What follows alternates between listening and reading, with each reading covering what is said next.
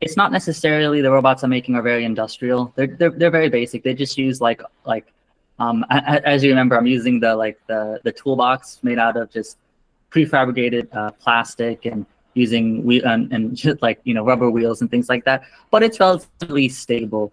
So I've seen other competitors. They cost let's say thirty grand per robot for the software my approach was like, what if I tried to lower the cost to just one dollar an hour, something to play off of like you know minimum wage is like eight or nine dollars an hour, and try to make my money back that way. So that way, the, um, the the the customer doesn't need to put an upfront payment, which can be really hard for a lot of a lot of customers I've talked to. Um, they they they don't want to spend 30, 40 grand on a on a on a like a a one or two month demo, a tri- trialing out their place because it's it might fail them. They're going to run out of the money, and the one hour one dollar an hour is cheap enough to where um, I can probably I can still make my money back, but it's not going to be too much for them too.